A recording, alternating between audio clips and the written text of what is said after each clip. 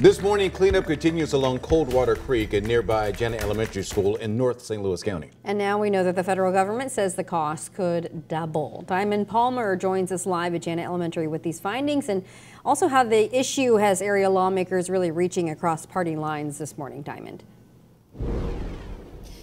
Well, good morning, Michelle and Rennie. We know that from our partners over at the St. Louis Business Journal that the new report from the U.S. Government Office of Accountability states that the costs are indeed ballooning for these waste sites from $177 million to $406 million. And they say all of this is because additional contamination has been found at some of these sites. Now, both Missouri Senator Josh Hawley and Congresswoman Cori Bush are working together to establish new goals for cleanup at Jana Elementary and getting compensations for residents here in North County. Now, Senator Hawley's Justice for Jana Elementary Act passed in the U.S. Senate last April to help clean up the toxins at the elementary school.